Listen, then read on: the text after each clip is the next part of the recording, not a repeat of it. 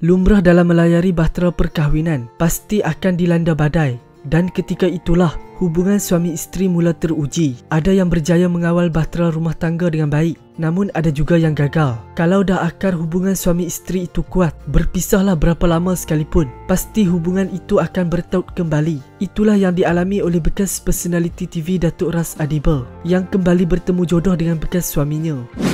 Guys, sebelum kita lanjutkan kepada anda yang belum lagi subscribe, apa kata anda subscribe dan tekan butang loceng untuk notifikasi video selanjutnya.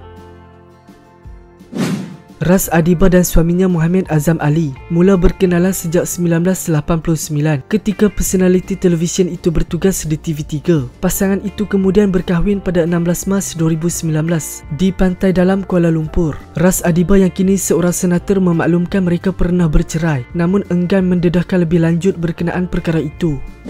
Sebaliknya, Ras Adiba mengumumkan yang dia kini sudah bergelar isteri semula kepada Muhammad Azam pada 2 Jul lalu. Bekas personaliti televisyen yang kini berusia 54 tahun itu berkahwin semula dengan bekas suami Muhammad Azam dalam majlis pernikahan ringkas di Jabatan Agama Islam Wilayah Persekutuan. Menerusi BH Online, Ras Adiba berkata, tiada lain, jodoh mereka masih kuat meskipun pernah bercerai sebelum ini. Kami kenal sangat satu sama lain. Banyak persamaan sungguh pun berbeza dari beberapa sudut. Tidak ada orang yang sempurna. Justru kami sependapat untuk menghormati kekurangan dan saling bertoleransi. Perkahwinan seperti persahabatan mesti beri ruang untuk satu sama lain menjadi diri masing-masing katanya.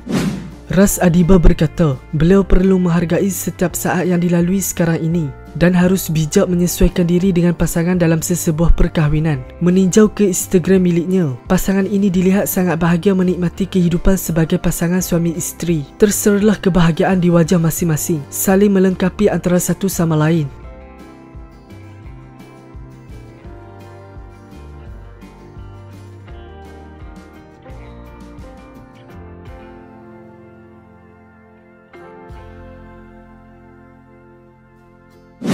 Datuk Ras Adiba juga dikagumi ramai sebagai wanita yang hebat. Semangat dan perjuangannya memperjuangkan hak orang kurang upaya. Menjadi inspirasi buat ramai wanita di luar sana. Apapun semoga Datuk Ras Adiba dan suami sentiasa bahagia dan sentiasa sihat.